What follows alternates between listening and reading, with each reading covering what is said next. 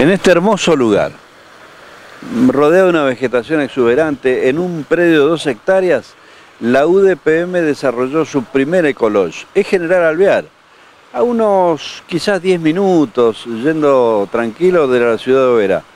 Y en este sitio, Enzo, que es el titular del UDPM aquí en Oberá, nos va a contar cuál fue la idea, qué buscaron lograr con esto.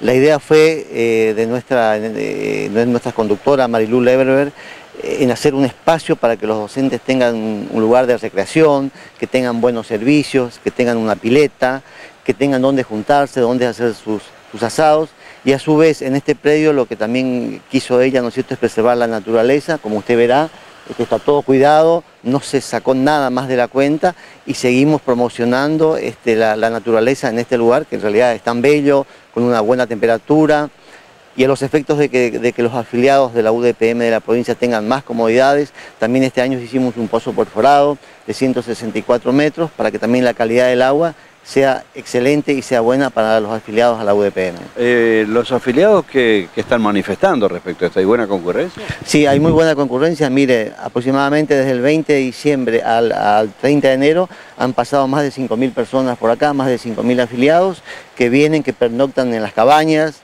Eh, hoy por hoy disponemos de dos cabañas con capacidad más o menos para 10 personas y a partir de marzo se va a construir dos cabañas más para agrandar, para agrandar el paquete a más o menos 40 personas alojadas acá. ¿Qué costo tiene el uso de esto para los afiliados? No, para los afiliados tiene cero costos. Si algún afiliado viene con algún amigo, un compañero, lo que sea, se le cobra una, una, una mínima cuota, una mínima entrada para que pueda este, pero es exclusivamente para los afiliados y gratuita. ¿Y qué hora está funcionando? Funciona desde, bueno, la pileta funciona de 9 de la mañana a las 19 horas y el predio en sí funciona a las 24 horas, porque tenemos gente, cuidadores y... se les ocurrió eso, desarrollar esto así tan bonito en medio de estas dos hectáreas? Bueno, el día, el día que lo venimos a ver, lo venimos a ver con Marilú, Marilú vio esas hermosas cataratas, ese hermoso arroyo y dijo, bueno, acá los docentes, los docentes tienen que recrearse. Y bueno, a partir de ahí nos pusimos a proyectar con todos los delegados de Oberá, de la, de la Unión de Docentes, y lo primero que se dijo es preservar la naturaleza, preservar este bello lugar, y, a partir de ahí vemos cómo se hacían las buenas instalaciones para que el docente la pase bien acá y, no perdamos este, esta cuestión de la naturaleza tan lindo, tan, tan bueno. Y aquí en verdad se disfruta no solamente de lo que ustedes ven, sino los aromas del monte, los sonidos, un lugar especial.